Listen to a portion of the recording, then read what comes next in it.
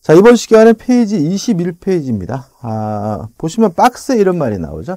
의사표시 없는 법률행위, 사실적 계약관계 이론. 이렇게 나와 있거든요. 자, 복잡하게 나와 있는데 기본적인 내용은 뭐냐면, 계약이 성립하려면 저번 시에 말씀드린 것처럼 반드시 상대방으로부터 승낙을 얻어야 되거든요. 근데 일정한 경우에는 승낙이 없더라도 의사표시에 합치가 없더라도 계약이 성립하는 이론을 우리가 사실적 계약 관계 이론이라고 해요. 교재 그 하단에 보시면 3번 보시면 이렇게 됐어요. 독일의 사실 계약 이론은 1960년, 60년대 초 우리나라에 도입된 이래 이에 인정 여부에 관해서는 찬반 견해의 대립이 있다. 현재는 이 이론을 부정하는 견해가 다수이다.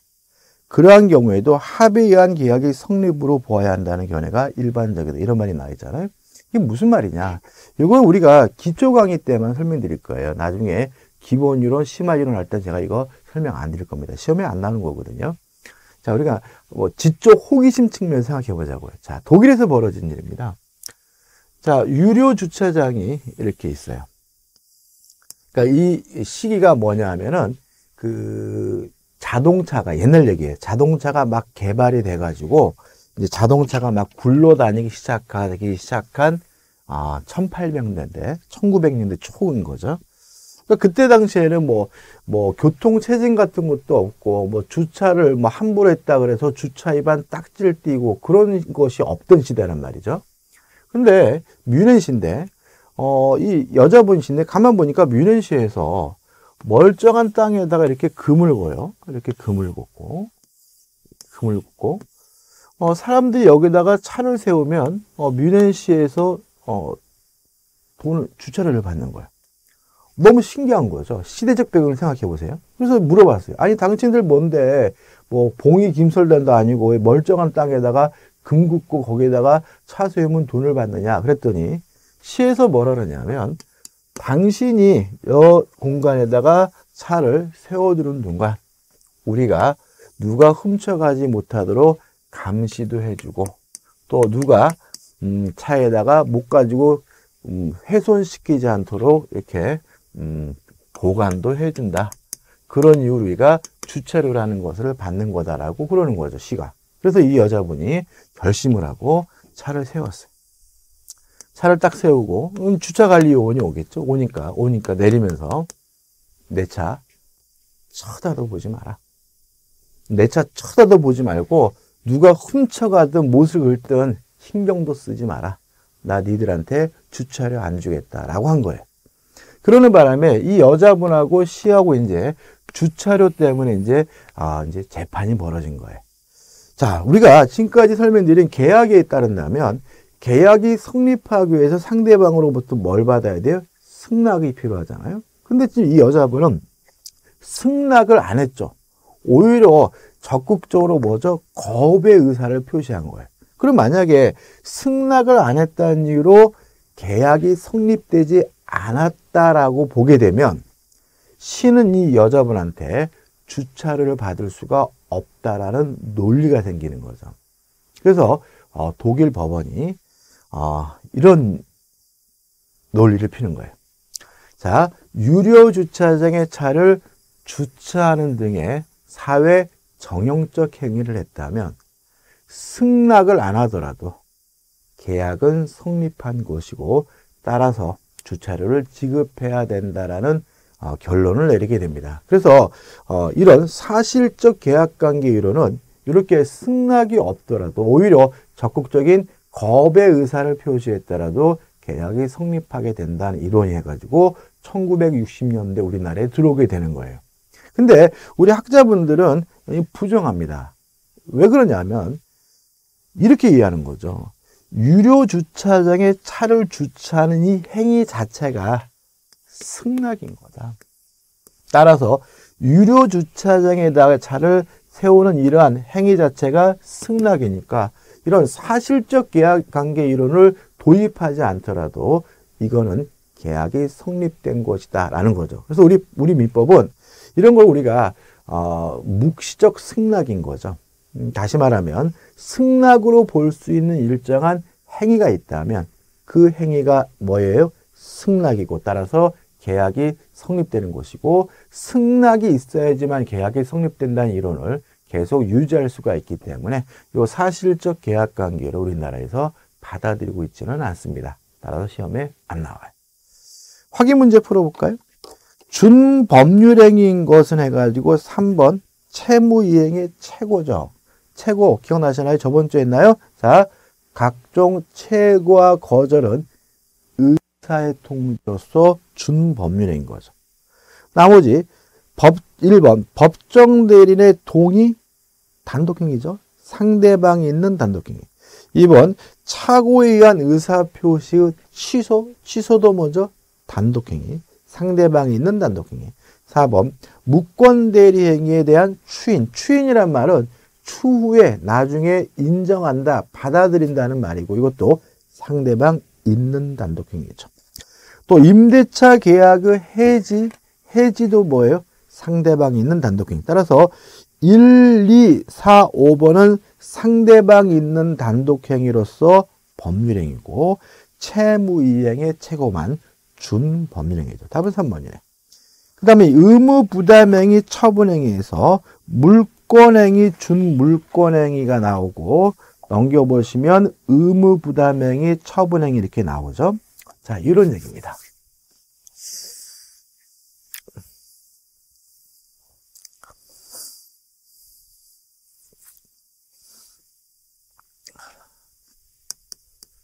자, 채권 행위가 있고요.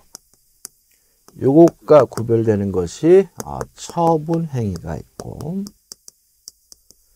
요 처분 행위가 다시 물권 행위와 그 다음에 준물권 행위로 나뉩니다. 개념이 좀 어려울 수 있는 부분인데 자 개념은 채권 채권 행위는 뭐냐면 채권을 발생시키는 법률행위예요. 채권행위가 뭐라고요? 채권을 발생시키는 법률행위. 그러면 채권이 발생하면 상대방에게는 뭐가 생깁니까? 채무가 생기는 거죠. 채무 의무가 생기는 거죠. 그래서 이 채권 행위를 다른 말로는 뭐라 하냐면 의무 부담 행위라고 하는 거죠. 자, 교재 의무 부담 행위. 자, 보세요. 기억 의무 부담 행위란 당사자에게 일정한 급부 의무, 그냥 줄여서 의무의 발생을 목적으로 하는 법률 행위를 말한다. 다시 말하면 의무의 발생을 목적으로 하는 것이니까 권리 측면에서는 뭐죠? 채권의 발생을 목적으로 하는 법률 행위죠. 그래서 채권을 발생시키는 법률 행위가 채권 행위고 채권이 발생하면 상대방에게 뭐가 생겨요? 의무가 발생하니까 다른 말로는 의무 부담행위라고 하는 거죠. 그죠? 그 다음 처분행위입니다. 자, 처분행위가 다시 물권행위와 준물권행위로 나뉘죠. 자, 물권행위는 뭐냐면 물권을 변동시키는 법률행위. 뭐 물권을 발생시킨다 이래도 상관없어요. 물권을 변동시키는 법률행위가 물권행위예요. 준물권행위는 물권에 준한다는 얘기거든요. 그럼 결국 다른 말로는 물권이 아닌 거예요. 그럼 뭐냐면 물권 이외의 권리를 변동시키는 것을 우리가 행위를 우리가 준 물권 행위죠. 자, 물권 행위 뭐라고요? 물권을 변동시키는 법률행.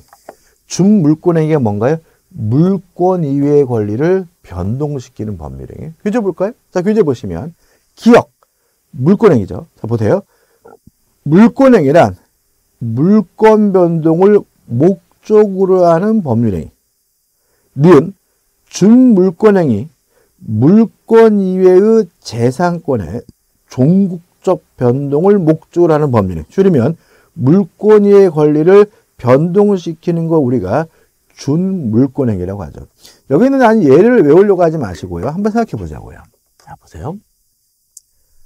갑이라는 사람이 A라는 건물을 가지고 있어요. 근데 을과 만나가지고 매매 계약을 했습니다. 자, 매매 계약을 하면 갑은 을에게 매매 대금을 달라고 요구할 수 있는 채권이 생기겠죠. 을도 갑에게 건물을 넘겨달라고 요구할 수 있는 뭐가 생겨요? 채권이 생기겠죠. 그러면 요 매매 계약은 채권을 발생시켰으니까 요 매매 계약은 채권 행위고 뭐인 거죠? 의무 부담 행위인 거죠. 그죠? 그 다음에 갑이 을로부터 매매 대금을 받아서 갑이 을에게 이전 등기를 해줬어요. 그러면 갑이 가지고 있던 소유권이 을로 넘어가겠죠? 소유권은 물권이죠? 물권이 넘어가니까 물권이 변동되니까 이렇게 이전 등기를 해주는 행위는 결국 뭐가 되는 거죠? 물권 행위가 되는 거죠. 그래서 우리는 앞으로 매매 계약은 채권 행위, 이전 등기를 해주는 거는 물권 행위 이렇게 구별할 거예요. 이것도 학설이 대립이 있긴 한데 학설 대립이 있는 부분은 그냥 이해하기 쉬운 가장 편한 것을 기억하면 되는 거죠. 그죠? 자, 또 하나 예를 들까요? 을이 갑에게 1억 원을 빌려줬어요. 1억 원을 빌려주면 갑에게 1억을 달라고 요구할 수 있는 뭘 생기죠? 채권이 생기겠죠? 그러면 1억을 빌려주는 요 행위는 채권을 발생시켰으니까 채권행위 의무부담행위인 거죠.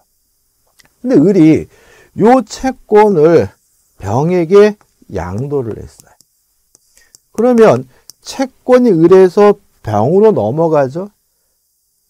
채권이 변동되는 거죠. 채권은 뭐가 아니에요? 물권이 아니니까 물권 이의 권리가 변동되는 거니까 요 채권을 양도하는 것은 뭐가 되는 거죠? 준물권행위가 되는 거죠. 요 세 가지만 기억하자고요.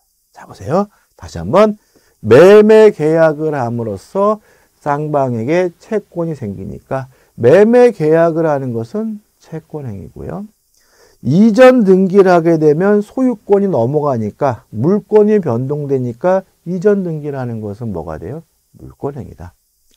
자, 돈을 빌려주게 되면 채권이 발생하니까 돈을 빌려주는 것은 뭐예요? 채권행위고 이 채권을 병에게 넘겨주면 채권이 변동되는 거죠. 물권 이의 권리가 변동되는 것이니까 이거 우리가 아, 준물권행위라고 하는 거죠. 그 다음 디귿번 형성권의 행사가 나오는 이거는 우리가 나중에 볼 거예요. 그 다음에 박스 밑에 무권리자의 처분행위가 나오는데 어, 무권리자의 처분행위는 음, 밑에서 A, 아, A, B, C가 나오는데 이거는 우리가 나중에 대리권 할 때 좀 설명드릴 겁니다. 그 다음에 우측에 보시면 음, 무권리자의 처분에게는 추이 나오죠. 이것도 기초에서 다룰 수 있는 부분은 아니니까 뺄 거예요. 그 다음에 박스 밑에 요식행위, 불요식행위죠. 자, 이런 얘기입니다. 법률행위가 성립하기 위해서 일정한 형식이나 방식이 요구되는 것은 우리가 요식행위. 아무런 방식도 형식도 요구되지 않으면 우리가 불요식행위라고 해요. 자, 요식행위에 1번 요식행위 예가 나오죠. 자, 예를 들면 법인의 설립행위, 유언, 어음, 수표행위, 인지, 입양 등이 있다죠. 특징이 뭐죠? 시험 범위가 아니죠. 그래서 우리 시험 범위 안에서는 요식행위가 없어요. 그래서 우리 민법은 다 뭐예요? 불요식행위. 그래서 만약에 우리 민법에서 이러이러한 법리가 성립되기 위해서 일정한 형식을 갖춰야 된다. 서면으로 작성해야 된다. 이런 말이 나오게 되면 다 틀린 말이 됨을 주의하시기 바랍니다. 우리 민법은 다 불요식행위다. 그 다음에 재산적 출연해가지고 출연행위와 뭐가 나오죠? 비출연행위가 나오죠. 이것도 좀 설명을 드릴게요.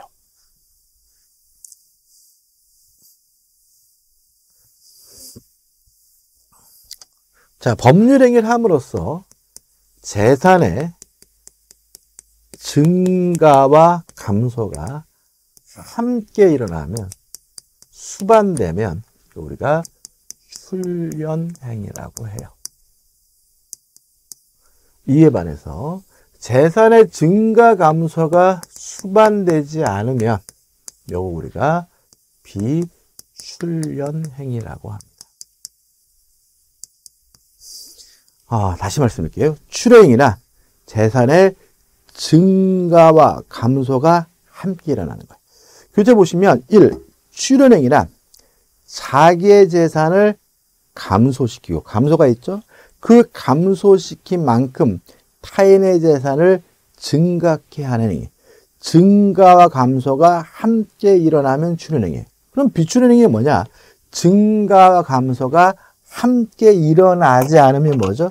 비출연행위인 거예요. 자, 한번 예를 들어 볼게요, 여러분들. 자, 갑이라는 사람이 A라는 건물을 가지고 있는데, 을과 만나가지고 매매 계약을 했습니다. 그래서 나중에 갑이 을에게 이전 등기를 해주게 되면, 부동산만 놓고 오면, 갑의 재산은 감소가 될 것이고, 을의 재산은 뭐가 되겠어요? 증가가 될 테니까, 요 매매는 증가와 감소를 함께 일으키니까 뭐인 거죠? 출연행인 거죠.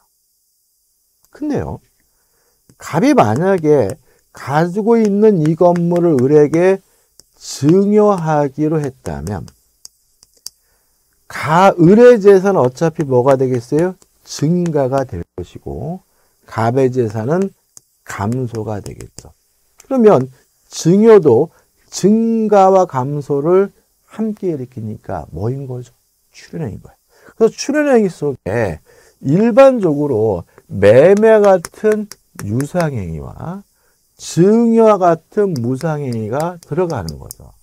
이렇게 생각하시면 안 된다는 거예요.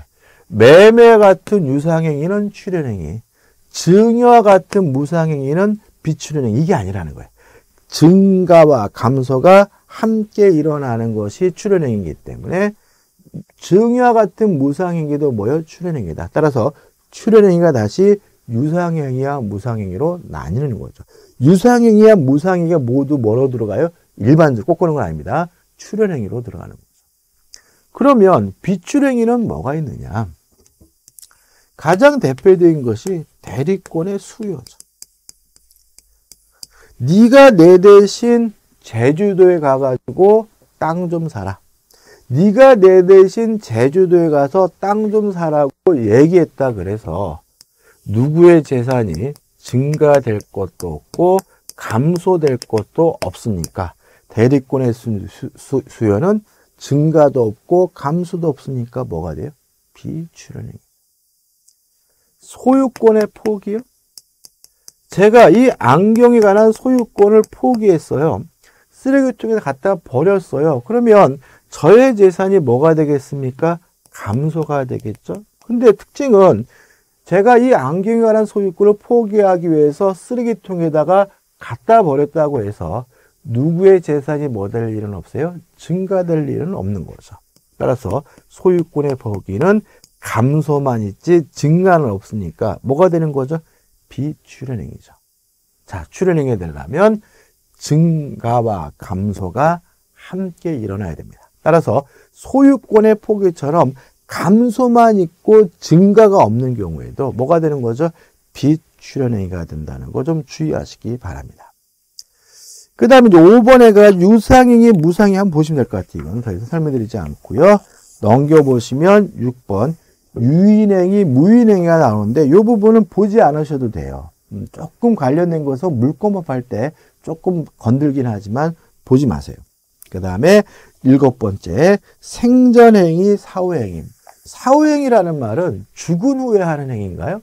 음, 죽은 후에 사람이 법률행위를 할 수는 없겠죠. 그래서 사후행위라는 것은 사망으로 효력이 발생하는 행위를 우리가 사후행위라고 하고 맨 밑에 있는 것처럼 유언, 사인증여가 있겠죠.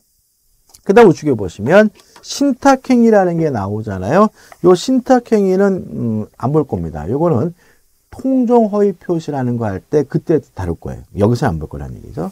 그 다음에 독립행위, 보조행위, 주된행위, 종된행위는 한번 읽어보시면 될 것 같아요. 자, 넘깁니다. 넘기시면 이제 법률행위의 요건이 나옵니다. 자, 법률행위가 요건해가지고 성립 요건, 유효 요건이 나오죠. 자, 일단 법률행위가 성립하기 위한 요건을 우리가 성립 요건이죠. 물론 성립 요건을 갖춰서 성립하게 되면 그 성립한 법률행위가 유효일 수도 있고 무효일 수도 있겠죠. 그죠? 다시 말하면 유효냐 무효냐를 따지기 위해서는 그 법률행위로서 뭐는 해야 돼요? 성립은 돼야 되는 거죠. 만약에 성립조차 되지 않았다면 유효 무효를 따질 필요는 없는 거고 성립한 법률행위는 무효일 수도 있고 유효일 수도 있고 유효하기 위한 요건이 있겠죠. 그래서 성립요건, 유효요건, 성립요건, 효력요건인 거죠. 자, 법률 성립하기 위해서 어떤 요건이 필요한가? 하나는 알아요. 뭐죠? 의사표시죠. 왜요? 법률행위란 의사표시가 들어있는 적법행위니까. 따라서 법률행위가 되기 위해서는 반드시 뭐가 있어야 돼요? 의사표시가 있어야 되는 거죠.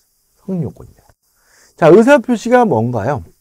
원하는 바, 바라는 바를 밖으로 표시하는 거죠. 그러면 원하는 사람이 있어야 되겠죠. 그게 뭐인 거죠? 당사자죠. 원하는 바가 있어야 되겠죠. 뭐, 나 지금 무척 원해. 이런 것들은 의미 없잖아요. 뭔가 원하는 바가 있어야 되겠죠. 원하는 바, 목적이 있어야 되겠어. 따라서 법률행위가 성립하기 위해서는 당사자 의사표시 목적이 있어야 되고요. 이거 우리는 뭐라는 거죠? 일반적 성립 요건이라고 하는 거죠. 자, 26페이지 하단에 보시면 중간에 보시면 1 성립 요건에서 1 일반적 성립 요건 일반적 성립 요건은 모든 법률 행위에 공통적으로 요구되는 요건으로 기억, 당사자, 니은, 법률 행위 목적, 디귿, 의사 표시가 있어야 된다. 다시 말하면 당사자 의사 표시 목적이 있어야 되는 거죠. 특별 성립 요건 해가지고 특별하게 요구되는 성립 요건인데 이거는 오늘 못합니다. 이건 우리가 어, 기본 강의 때 할 거예요. 기본 강의 때 볼 거고 그 다음에 이제 효력 요건이죠. 자 성립한 법률행위가 유효하기 위해서는 어떤 요건이 필요한가? 첫째, 당사자에게 능력이 있어야 됩니다. 또 어, 의사 표시죠. 의사 표시가 합치돼야 되고요. 또 의사가 형성되는 과정에 하자가 없어야 돼요. 그 다음에 목적이 있고 이것이 유효하기 위해서는 목적이 확정될 수 있고 가능하고 적법하고 사회적 타당성이 있어야 됩니다. 자, 일단 요 당사자의 능력 부분은 원래는 시험 범위가 아닙니다. 아니지만 기초 강의이기 때문에 공부를 할 거예요. 특히 요 당사자의 능력 부분은 어, 시험 범위가 아니지만 우리 기초 강의 때 했을 때 제가 설명드린 부분은 그 정도는 안다는 전제에서 나오기 때문에 주의하셔야 되고요. 또 의사 표시가 합치가 되고 의사 의사가 형성되는 과정에 하자가 없어야 된다는 것은 다음 주에 볼 거예요. 다음 주. 이건 다음 주에. 그 다음에 목적이 확정될 수 있고 가능하고 적법하고 사회적 타당성이 있어야 된다는 분은 어, 다음 시간에 볼 건데 아마 다 하지 못할 거예요. 그래서 아마 다음 주에는 여기까지 의사표시가나 유효권까지 공부하게 된다는 거 미리 말씀을 드려요. 이게 뭐죠? 일반적 효력 요건이죠.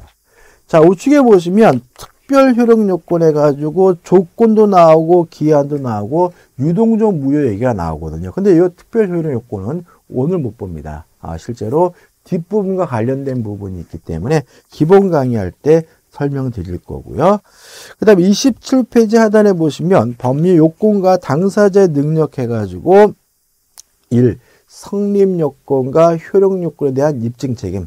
성립 요건은 성립됐음을 주장하는 사람이 입증해야 되고 효력 요건은 유효함을 주장하는 사람이 입증하는 것이 아니라 무효임을 주장하는 사람이 입증해야 된다는 거 주의하시기 바라고 그 다음에 2번 해가지고 당사자 능력 흉계란 교육 효과 정리는 아, 설명 드릴 겁니다. 그래서 어, 이번 시간 여기까지 하고요. 다음 시간에 27페이지 상단에 이제 민법상 능력 해가지고 요 당사자의 능력 부분을 설명드릴 겁니다. 좀 구체적으로 기초 강의니까 자세히 설명드리려고 합니다. 자, 이번 시간은 여기까지입니다.